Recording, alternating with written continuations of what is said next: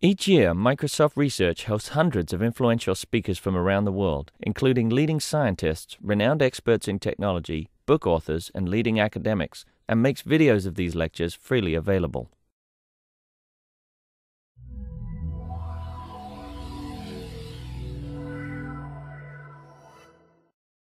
The honor today to have Pernilla Qvarfordt with us from Linköping University in Sweden. And she's been doing some very interesting work on um, getting a sense for patterns of, of, of visual attention um, on objects uh, as users work with computing systems. Um, I think they reveal uh, quite a bit, well, they show the direction for that kind of revelation about uh, human cognition. So, Pernilla. Thank you very much. So uh, my title of my work is Eyes on Multimodal Interaction. And I did this work while I was a graduate student at the Department of Information and Computer Science in Linköping University. Although I was actually not there because I did this work in cooperation with IBM Almaden Research Center in San Jose. So um, the motivation for this work is that um, my group that I work with in Linköping is trying to move the interaction away from making commands to have a dialogue-based interaction. And when thinking about this, I realized that when we are talking to people in face-to-face, there seems to be a lot going on with our eye gaze. We can see if people are interested or not interested, if they are listening to you and not listening to you. And so I have uh, two examples of this. This is two women. They are cooperating with a couple of, of notes that they are sorting here on the table. And you can see that this woman is looking at an area down here somewhere, while this other woman, she's looking at her eye gaze to see if they sort of are looking in a similar direction, if they are talking about the same kind of sets of nodes on their shared workspace. And here is another example. And in this example, we have two girls. And this girl is telling about this little creature, or robot, actually, that she has built, and how it's functioning and going to work. And you can see on this eye gaze that, that this girl is very interested in what is going on over there. And when we are moving from commands to dialogue-based interaction, it is interesting to see when um, now we're talking about computer. So when the uh, face of our partner is not only the, the face, but also the interface, how can we use eye gaze to infer information? Um, and what kind of information is there? So, and when we look at uh, multimodal interfaces, most work has been done on speech and pointing or speech and input case uh, interaction, and these are starting to come near commercialization. And there is more um, experimental work on speech and gesture and how to coordinate that. And this one drives it even further in a new direction where we can combine speech and gaze into the user interface. When we look at how eye gaze has been used in multimodal interaction before, we can distinguish two parts. One is for using, mutual, using it for doing mutual disambiguation of the speech channel and the eye gaze. So both this work of Tanaka and Zhang et al., they look at uh, objects on the screen and you're supposed to sort of say which object you want to select. So the green triangle, for example. And um, the other lines of research is sort of trying to look at the complementary. So uh, al. used uh, speech and, no, not speech, mouse movements and eye gaze in order to sort of select objects on the screen. And Cardall used speech and eye gaze to sort of complement the two channels. So they said move it there, and they looked at the object they wanted to select and, and where it was supposed to go. What these two have in common is that they are using, they are basing their interactions on command, and it's not based on dialogue. And I wanted to move a little bit further. I want to go towards dialogue. And the first research, the first I did was to try to look at what kind of past research is there? What do we know about the connection between the spoken interaction and the, um, the eye gaze? And we can see that there has been mainly been three lines of research. There has been people has looked at how does eye gaze matter in, in face-to-face communication, and how is the eye positioning when speaking and listening, and finally about eye gaze and shared spaces. And when we look at the face-to-face communication, we can see that this research is mainly focused on the timing between the gaze, the mutual gaze, and the utterance. So for example, in the beginning of the utterance, one tends to look away, to look back, and for at the end of the utterance, you sort of hand over the term by, look, uh, by looking at somebody. And uh, for the eye gaze position when speaking and listening, the aim of this research is to understand the cognitive processes. And by that, they're trying to figure out how long time does it take to retrieve um, a word from, from your memory. So, so sort of uh, ask people to look at the object and, and, name them. And they can say that, oh, approximately 900 milliseconds before they say the word, they look at the wor word.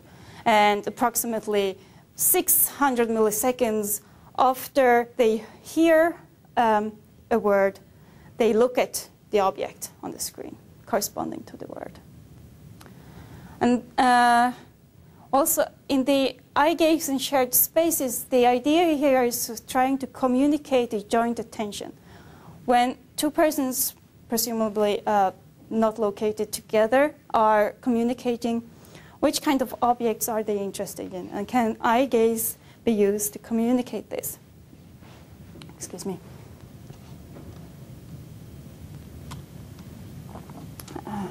And the work that has been shown in that area is that yes, it's possible to do that. Uh, but pointing works as well. So it's not, they, they haven't really been able to show a great sort of influence on just showing the position of the eye gaze to the communication partner. And we can see that the implications from past research is that the uh, utterance and the gaze, they are coordinated behaviors. Gaze can be used as a mean for grounding, so to check that we are understanding each other, and uh, that we're talking about the same thing. And eye gaze can fu also function as a pointer to objects. We can sort of select to, to, to look at the chair if we want to. And we can also say that eye gaze patterns are related to speech. However, this uh, past research is quite limited. It either shows very general phenomena with limited applicability to multimodal interaction, or it studies speech and gaze in a very limited setting, such as these cognitive studies, where you have a few items on the screen, you have pre-recorded utterances that the speaker or listening are, or format that the speaker is supposed to follow. So this information that we know from past research is clearly not enough for building multimodal system. So what we did was that in cooperation with, with IBM, uh, we did a study of natural eye gaze patterns and we called it the real tourist study. So we had one tourist and we had one tourist consultant and they were not located to, to each other. They were not located so they could see each other, but they saw the same map over here. And the tourist eye gaze was recorded by this Tobii eye tracker up here, which has the eye tracker integrated with the screen. And the tourist consultant had this view. It could see the map, it could see an indicator of the tourist eye gaze, and it had some information about the different sort of places on the map. And I can show you a quick example of what the tourist saw, so you get a feeling of it. Unfortunately, there is no sound on this one since I took it directly from the screen. Whoops.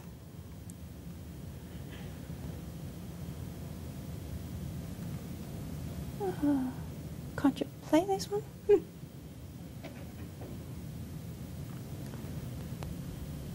Just play controls the bottom of the screen on the bottom. Yeah, I know right it. click- Try right clicking on the image. Maybe. Hmm. No? I think I had a trick the last time. There we go. Go. So you see how, how it sort of moves between the different places. We had a, a small recursive filter on this one, so sort, sort of trying to calm down a little bit of the high-speed eye movements. But this is uh, uh, the view that, that sort of the tourist consultant saw. you know, what is user trying to do? So the user is, whoops, this is the wrong one. it Somewhere or? The, whoops. Now it, um, yeah, it comes here. So um, what the tourist is trying to do, he's trying to book a conference trip. So he has some uh, constraint like price limit, location constraints, and personal preferences that he could sort of select on. So, so it says that, oh, the company is not prepared to pay more than $150 per night and that sort of thing and oh, it should be close to the conference center, and like that. And then we had uh, 12 tourists, and we have two tourist consultants. And we asked the, the uh, uh, tourists to do two trip planning tasks. And then we collected the eye gaze data. We collected the spoken dialogue, which was synchronized with the eye gaze. And we had uh, the video film of the tourist consultants' faces, so we could see if they look at the information or if they looked at the map. I'm just curious. I mean, if uh, Yeah. If the tourist actually doesn't have any focus on whatever he's doing, just you know, you know, taking a break or something, oh, how will the gaze look like? Is that going to be random pattern or something? Um, I'm coming to, to that a little bit. Oh, okay, okay. Yeah. Um, but in generally, I, I could say that uh, since this is a very task-oriented dialogue, uh, you could sort of see they, they, their eye gaze was related to the task almost all the time. Yes. kind of at a higher level, um, I'm still unclear about what you're really interested in. Are you interested in, in, in modeling human-human dialogue? Are you interested in?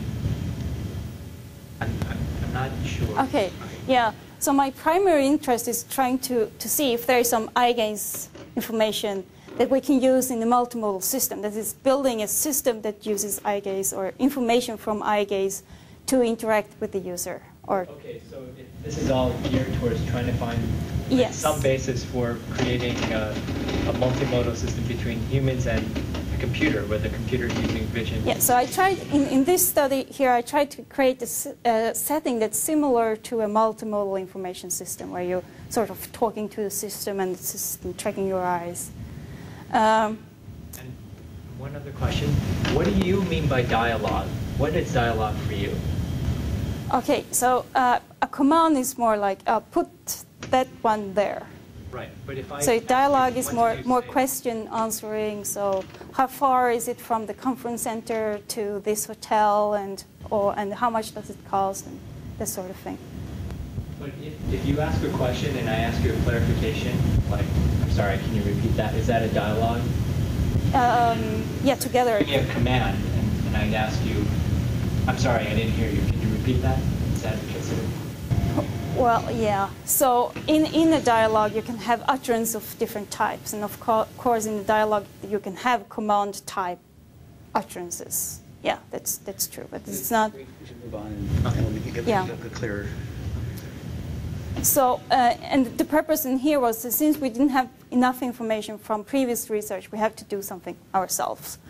And we could see that there were several things that the tourist consultant could use the eye gaze information for. And that was resolving references, resolving ambiguities, uh, make some interest detection, detect when there was a topic switch coming up, or, or using the eye gaze information for making topic shifts, and also for establishing common ground, which one could see as a sum of all of those. Well, clarification question. Did, did, Yes. Did the um, tourist know that their gaze was being tracked by the uh, expert? Uh, they, they know uh, that, the tour, that the tourist that their gaze was tracked. They could actually use the gaze in an artificial way. I mean, But they didn't know when the tourist consultant saw it. I see. Okay. So we already know that eye gaze can be used for pointing. Right. So we sort of, what other kind of eye gaze pattern might we find there that are connecting with speech? and the gaze was the gaze uh, result was hidden from the user. It wasn't shown also to the user. Their gaze was not shown. Yeah, no. So, so the tourist only saw a regular map, and occasionally the tourist consultant could display a, um, an image of, of, a, of, of the hotel or the attraction that we're talking about. So when I'm looking at, at resolving references and ambiguities, and one reason why the tourist consultant could use this is that people tend to look at what they talk about. And I have two examples of this. So I will show the example first, and then uh, I'll sort of tell you what is going on. And in both these examples, it's the tourist voice and eye gaze that we see. And it has a different visualization because this is from the analyzing tool, and I didn't have the dot moving. Instead, it's a line that moves.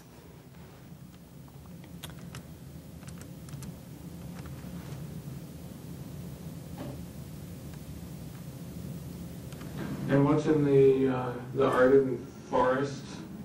There's Moose House, there's Gamlia, and there's Arboretum.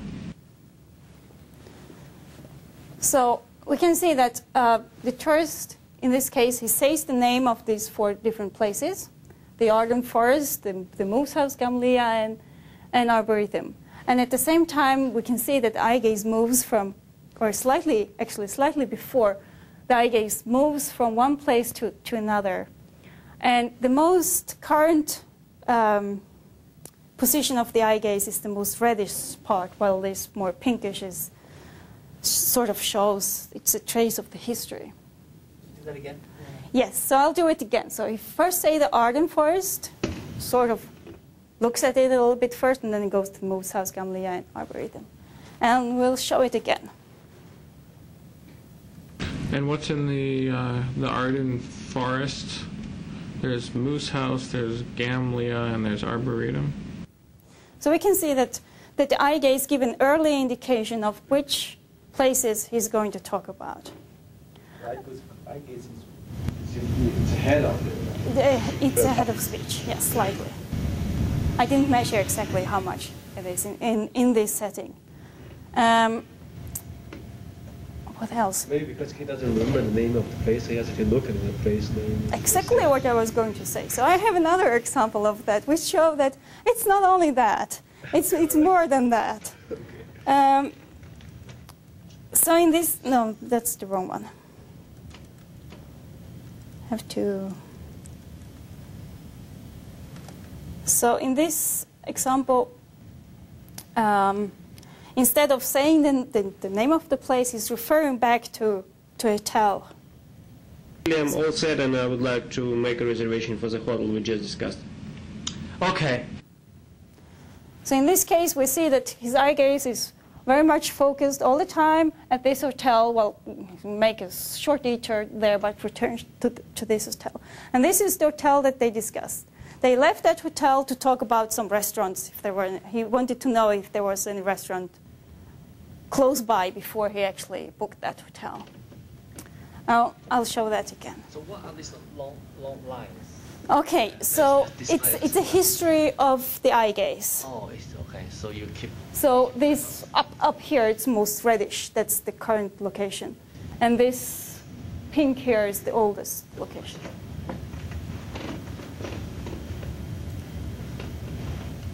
I'm all set and I would like to make a reservation for the hotel we just discussed. Okay. So we see that it's not only that when saying the names of the objects, but also referring to them by, by different referring expressions that they also use the eye gaze to sort of look at what they are talking about. Yes. Okay. We can also see that the eye gaze is used for establishing a common ground. That is assessing the partner's understanding. Has, has he followed my instructions? and making sure that they are sort of talking about the same thing. They are still talking about this hotel that was closest to the conference center or whatever. And I have an example here of assessing the partner's understanding. So in this is a still image of the user's eye gaze. So it starts up with a square and ends here with a circle.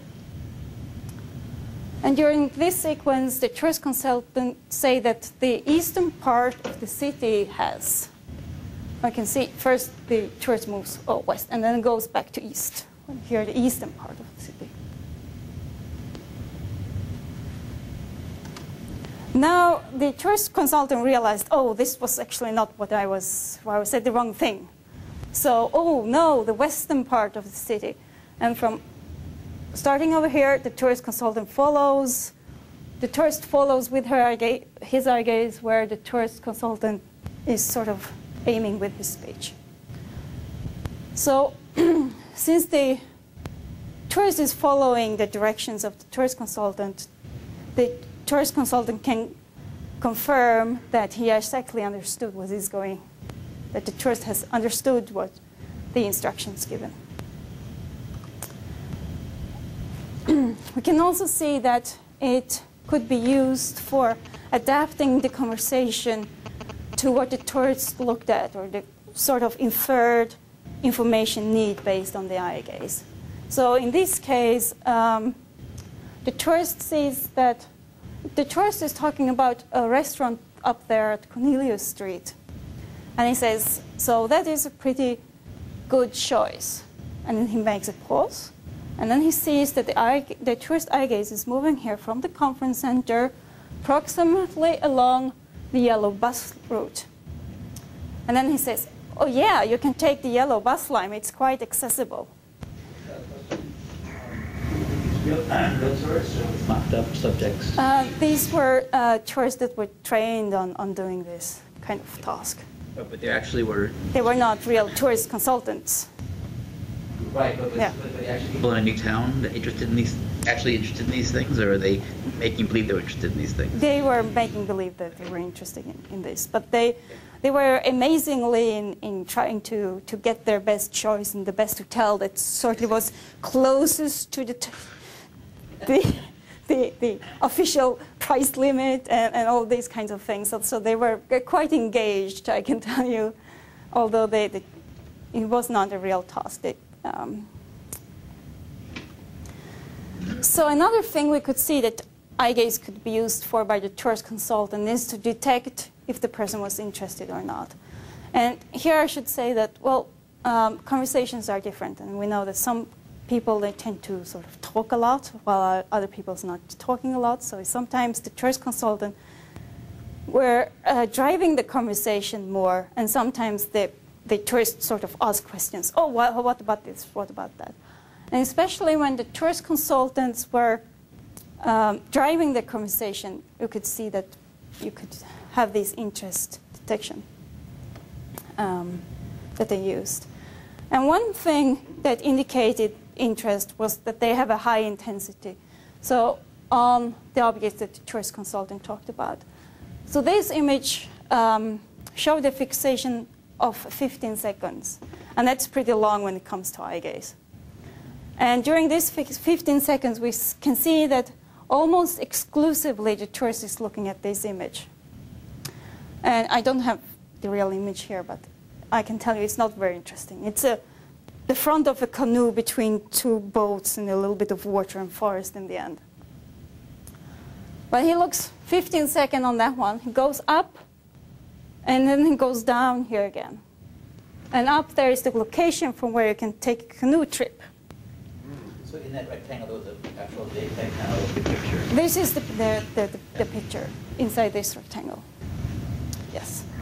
And um, so high intensity is clearly showing a high interest. He also ended up asking for uh, to sign up for a canoe trip. Mm-hmm. So he was clearly interested in, in this, and the eye gaze can sort of comment. He didn't say much, and I can tell you after the tourist consultant saw this, and after 15 seconds, she continued talking about the um, um, the canoe trip. Defining high intensity, you mentioned dwell in 15 seconds in Fox, but is it also defined by like how many saccades or other kinds of statistics? Uh, well, I haven't sort of So right now you're looking at just to- total time. total sort of intensity on, on, on that one, yeah. And we can see that usually one say that uh, a fixation is about 200 milliseconds, and that's, that's around what, what they are, so. It's not like they're making a whole lot longer fixations or that sort of thing. It's the same. Um, on the other hand, we can see that, that we have a low intensity that the choice consultants are not very interested. Okay, and in the next example, it's the choice consultant that starts talking, and then uh, we see the choice eye gaze, and eventually he asks a question.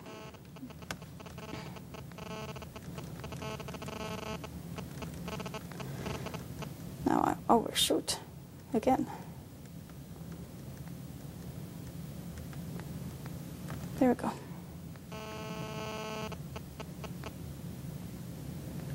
So I'll first play it for you, and then I'll describe what's going on, and then I play it again. Okay. So, for example, we have the lobster house. It's right along the ocean. It has uh, seafood, and uh, it's a very novel fish restaurant. Um, so they have a variety of, of rare fish and uh, sh- What? Okay. What? What are about the um, something near the Fisherman Wharf? Oh. So in this case, the, the uh, tourist consultant starts talking about this restaurant. The tourist sort of briefly checks it in the, in the image, uh, realizes that this is not very interesting. So he moves over here, searching for new places, places that they have not talked about earlier. Don't find anything interesting over there. Then moves up there, finds Fisherman's Wharf, and starts sort of checking out things.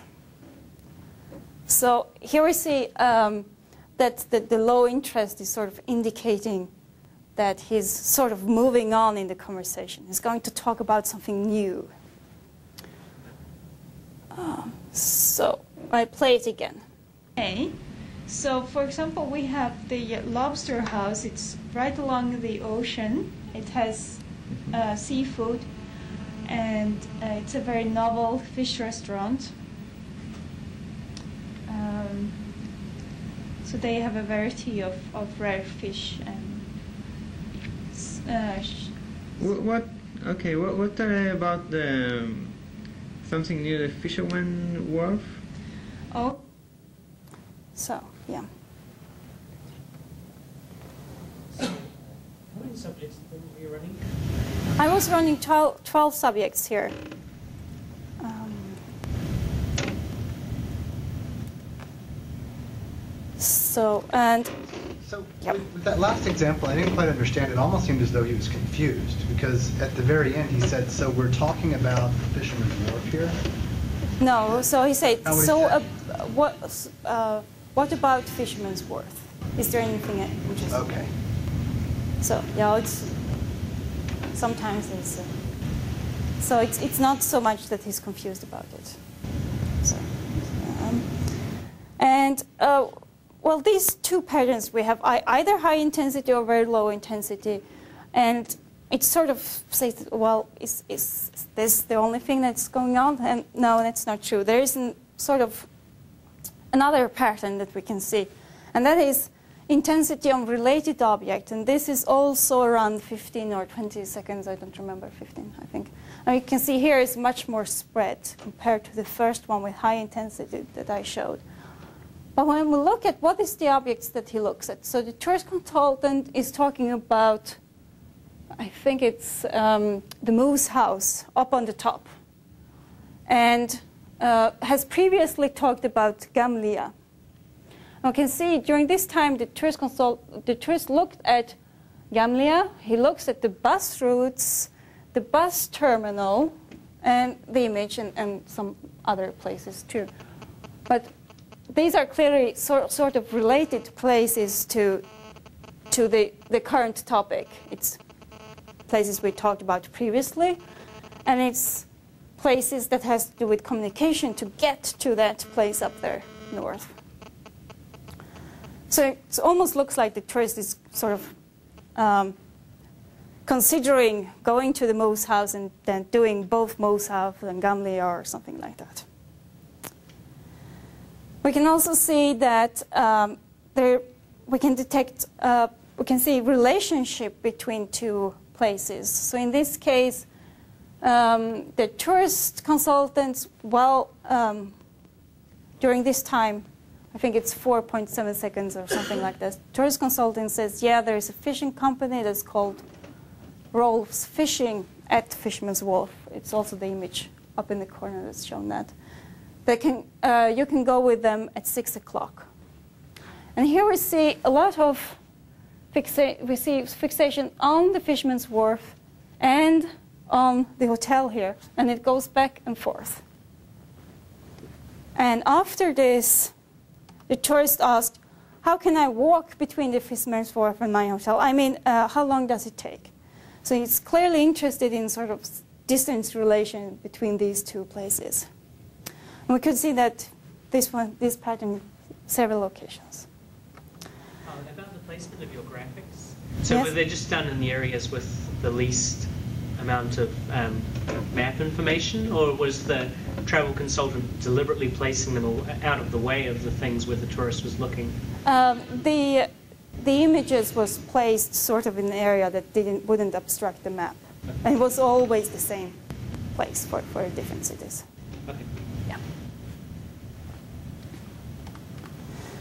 So we can see that the implications from this research for multimodal interaction is that we can see that we can use eye gaze uh, for resolving references and resolving ambiguities, for doing topic switching and interest detection.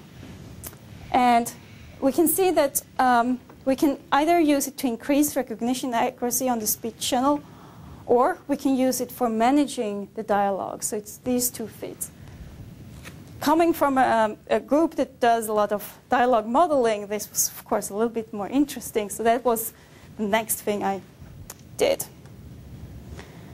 So in this iTourist, so I built this iTourist system that is an eye gaze-based interactive system, sort of trying to, to uh, see how much, well, we know now that there is information in eye gaze, but how much is there and how much can we sort of stress it? And in this case, uh, we had the same kind of task, except with, that we replaced the tourist consultant with the uh, computer, uh, computer system, with a box, so to say. And we choose, I chose to use fairly simple algorithm, and the goal was to test the feasibility of managing human-computer dialogue based on the eye gaze movement. And uh, I used both eye tracking and mouse input, uh, but I mainly um, asked them to, to use the mouse to correct when something was not going as they intended, the tourists. And I used two scores to determine their sort of interest in the, the objects. The interest, score, the interest score and the focus interest score, I'll come back to those one a little bit later. And I in- integrate this in the Event Interaction Manager that sort of control which kind of speak and output and image display that we should have. We had a bunch of objects, and we also, well, uh, ta- the system sort of talked about the places that, that you were interested in. And while doing this, we had a sort of, um, when it talked about the hotel, it showed the facade of the hotel and the rooms and the restaurant while talking about the breakfast and that sort of thing. Is the camera mounted on the monitor there? It's mounted below. It's sort of hard to see, but Oh, okay. there's a little bit here. And then there is some, some panels for infrared light sitting on the sides, below, and on the top. So if people interested, uh, to Prunella, through our usability lab, we have a later version of this upstairs, so. Yeah. So it's much fun, uh, a bunch of studies and so on. Yeah, it's a, it's a Swedish eye tracker, so it's a little bit ironic that I should travel half around the world to use a Swedish eye tracker. And I could travel 200 kilometers. Okay, well, Ed Cutrell, you know, he uh, evaluated a whole bunch of them, and we chose that one. Yeah. It's those Swedes. Yeah. So I said that there were two scores. So we had the uh, interest score, which is the uh, I score, which was used to activate an object. And the base, as we saw before showing the interest, is the gaze intensity. And then we used um, four different factors to sort of modify this uh, gaze intensity. And um, two of these factors sort of uh, the category and the history sort of model, models the task, or if you want, the dialogue, which is sort of similar in this context. So the, the relevance is that if you have been talking about a hotel, until you have decided which hotel to stay on, it's likely that the next place is another hotel. Um, and we can also, the activation history. So if, if you have uh, listened to the information about one particular hotel, you're not very likely to being interested in that one once more again. And one thing that we saw in the other study was that people tended to return to, they also do that in this case for this restaurant here. This is from using the study, using the iTourist. They tend to return to their gaze to the, the restaurant or the, the object, the place that they are interested in.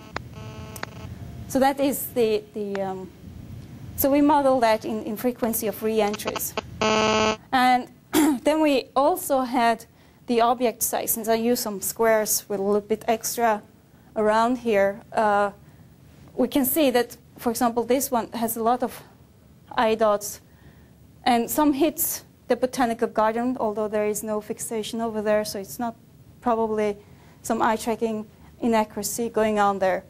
Uh, and this larger object, of course, attracts more of these random dots, random samples. So uh, we sort of gave the larger object, made it, them a little bit harder to activate. Could you have zero objects active at once? I mean, yes. And could you have two? No, it's only one because the system can only talk about one at, at one point. But it could talk about, um, I'm coming a little bit but that later, it could say distances between the two objects. So in that case, we just activate one after the other? Um, in that case, I'm going to talk about a little bit how he, it, it works in order to sort of trigger the, the distance utterances. Okay. So distance utterances basically say either how long does it take to walk between them or how, um, how you go with bus if it's longer than 30 minutes to walk. So the phi score is, is the focus interest score. So the, when the system is talking about the object, is the user still interested in the object? And we can see here, for example, this is from the previous study, that uh, the uh, tourist uh, the tourist consultant is talking about the hotel, and the tourist looks at the conference center and um, also briefly at the restaurant up there. So it's clearly not only the intensity on the active object, but also on related object. And related object can be the conference center was related to the, all the hotels, so that was sort of in the task model. But also sort of close by objects were sort of considered um, related object. And then we measure these ones over a moving time window, mated it. So, so one, might, one might make the argument that via notions of center surround, that you're looking at an object and you have high, higher intensity, whatever heuristic you're using for that, yeah. you might want to actually demote objects around it because there's some chance of random, random. walk and, and, and uh, attraction that's not really interest, but just kind of a visual kind of attraction. And then, uh, um, well, yeah, but on, on, the, on the other hand, it might still means that you're actually looking at the sort of hotel. That you, although, although might some some dots might go over here, you're still sort of interested in the hotel over there. So in in iTourist, I had a hotel. Uh, sort of objects that were close by to the active object that were, were related in order to sort of keep up the intensity of on on this one because you're still sort of interested in that. And I don't remember right now. Yeah, I guess I'm trying to separate out the likelihood that you'd be interested in related things because they're close by proximally for walking distances and so on. Yeah. From eye being drawn randomly to things nearby, and um, maybe different domain would highlight that where it wasn't a goodness to closeness in the domain itself. Yeah. Well, yeah, it, I think it depends a little bit of what, what kind of sort of domain. In, Yeah. And in this case, I could see that there is a natural tendency to sort of look at the, the places that's close by, and that this does not necessarily mean that you are uninterested in the place that, that the system is talking about, or, or the tourist consultant was talking about. So, and then as I hinted a little bit earlier, we had the distance uh, detection, which was very crude. Um, so we recorded the eye gaze locations on the different objects and uh, recorded them in the object memory. And then we filtered out short durations. So if we got a random dot here, uh, when the tourist was moving the eye between these two places, um, we sort of took that away. And the bus terminal when was overshoot and that sort of thing. And then we checked if they were looking sort of back and forth between these two places. And one of the places had to be the active object, because otherwise you could get any kind of random uh, two objects. And we saw from the previous uh, study that they usually tend to to look to talk about distance, but for an object that sort of is the focus of the conversation that the the conversation is about, the topic of the conversation. So that's sort of some of the constraints we put on that. And then we use these two scores, the I-scores and phi-score, to manage the dialogue. We use it to change the state of the object and to determine what to play and what to show. And we have certain uh, choice points, points here that we use the, the scores. Yeah. The scores, did you uh, um, have any way of knowing what the variance uh, due to noise would be on those scores? And how did you calibrate that? Um, well, I assume that the even the eye tracker has some noise yes, associated. Yes, and it's uh, depending on different persons. So no, the, the question is no, I didn't do any sort of filtering for noise. That's of course possible to do that, but um, I can show an image later that sort of show that my system, the, the methods that I used, although simple and uh, were quite effective for accomplishing what they were supposed to accomplish. What? How did you set, set the threshold? Oh, the, the thresholds in my system right now is, is uh, done by, by pilots test and, and other kinds of, of base, basic empirically based. This um, a further development, of course, can be to have a, a, machine learning algorithm to sort of update the thresholds that sort of thing. The same is with the different weights on the different factors in the I-score and the phi-scores. Um, so we did a small user study of the iTourist uh, to sort of see if it could work, if we could catch the, the eye gaze patterns we were interested in. We have 12 users. They use the same tasks, the same kind of uh, price limits, location, location constraints, and personal preferences. And we collected the eye gaze and the events when the system started talking about an object and if the user clicked at different places. And we video film their faces. And we could say, well, it worked. They all successfully completed the task. It didn't give up or anything. And they used very few mouse clicks to correct the system, to correct iTourist. And the task completion time was actually slightly lower than having a human on the other side. Uh, the humans didn't always have, have an easy task uh, doing it, although it's not directly easy to, to sort of correspond, uh, compare the two studies. So the humans were watching those eye traces just going by in real time with no ability to do what we did and just look at them again? Um, no, they looked at this dot, the, the moving dot, which was slightly slower. Okay. So it's a different kind of visualization, but that one was tried out as, as sort of feasible for the human to be able to follow. Um, so, okay, so this is um, an example that sort of show that the same kind of eye gaze pattern is exists here as we find in the first pattern. So although we see that the fixation is quite a bit longer on this object that this uh, user is trying to trigger here, um, you can see that he sort of comes back to it, looks at sort object that's close by, but returns to this object, goes back. So we have the re-entry that plays a part in, in indicating if you're interested in an object or not. And the user experience was that uh, the user had quite positive reaction. It says, oh, I think it's a real pro cool program. I mean, it tracks down what you think and what you want. I like it. It worked pretty well. And we see that the average score, well, on average, uh, on general, how well the work, uh, iTourist work is quite to the left. Yes? So this, was the system using speech recognition? No. So it was only, you could only interact with eye and sort of mouse clicks. And there were very few mouse clicks. There were on average two, one or two per person. And some of these were errors when they clicked the wrong button. Uh, were these subjects in this second test, were they real tourists or were they again sort of tour? Yeah, they, they were so, sort of, yeah.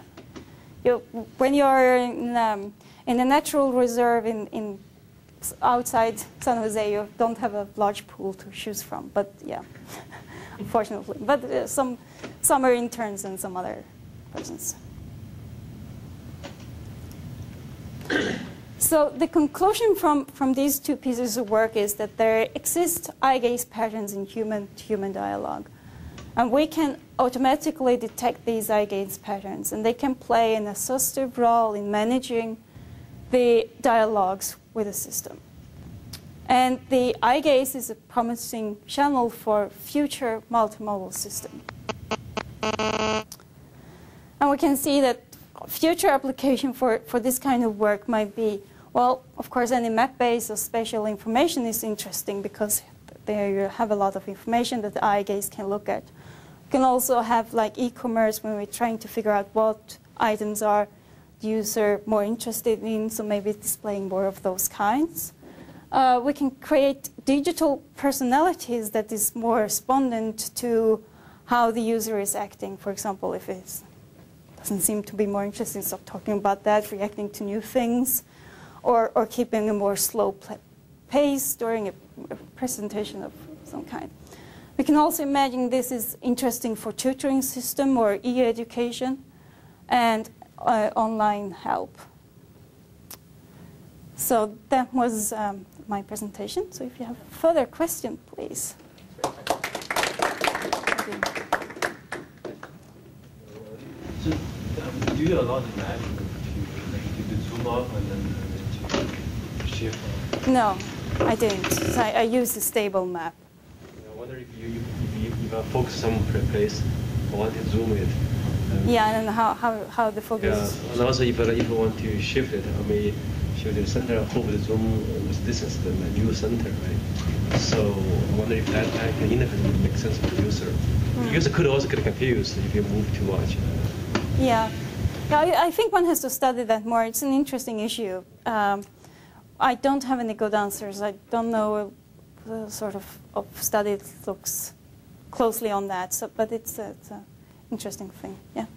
I'm trying to understand why it is that the human uh, tourist consultants were so much slower uh, than the system. Was so with so there was no speech involved. So the, the humans were supposed to follow the eye gaze and highlight the hotels or whatever that's near the eye oh, gaze? Oh no! In in in the first study, they, they were talking, the tourist and the tourist consultant were talking to each other. Right. But yeah. when you did the comparison between the task completion time. Yeah, the, the well. What was the human's task in that case? So the task is, is similar. It's to provide information as well good as possible to the tourists. And of course, what actually is going on that, that you're talking about different places, that's the same. Um, and I think the number of places was about the same too. So it's, it's well, this of course didn't have that the tourist was talking, with, which they did in the other task. So. So, uh, so then, as a tourist watches the eye gaze and says, "Oh, this is this hotel, whatever," and then the system likewise, as it uses your your flow, so your flow chart for the yeah. log management, it's using TTS to generate information for the user. Is that right? It's uh, speaking out information about. Yeah, it had pre-recorded um, text to, to run in this as sort of a sequence to, to to run through, but it could stop anywhere in the sequence depending on it. if this is if the user wasn't interested any longer, it sort of stopped. Okay, so why why is the human being so much longer?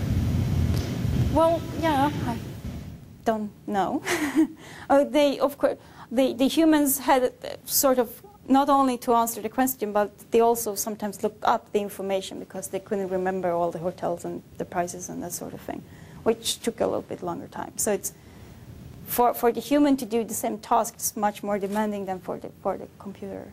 One, one could, that's one conclusion one could say. Yeah. That's just because of the lookup. Uh, yeah, I think it's the, the look, lookup. That's sort of for, for the tourists, the task wasn't very different, except that they could talk in the in the real tourist. Yeah. It's just a question about how you integrate the, the gaze tracking into the actual task that people are doing. So. Yeah you know, they knew that they were being gaze tracked because obviously they had to calibrate the system beforehand, yeah. et cetera.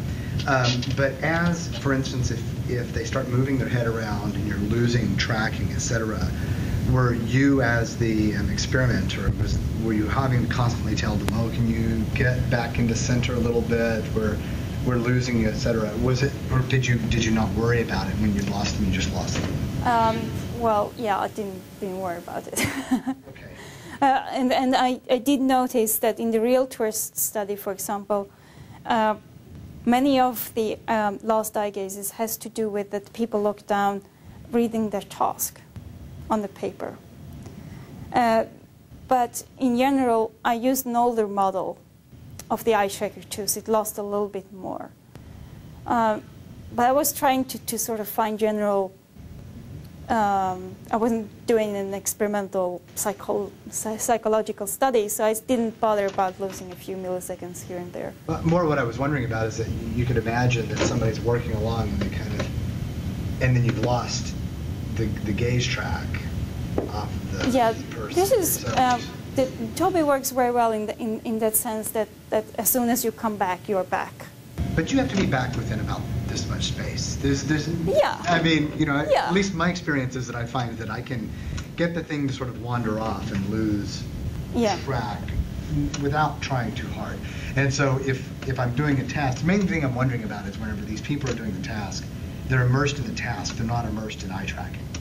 Um, yeah, I, I, think for the second study we checked, and they say it was only two persons or something that tried to, to sort of adjust themselves because they tended to come a little bit close, and then it, I think it once said that, but that's the, the only thing. Uh, in the uh, iTourist, I did have a small sort of filter for short losses of um, eye gaze, so it wouldn't stop, sort of, it wouldn't affect the phi score and the I score. Uh, longer losses, no, I don't remember the number. I think it was, no, I can't say the number uh, from the top of my head. Longer than that, it's sort of the, the score started to drop, uh, but only at one or two instances it actually stopped talking due to lost eye gaze.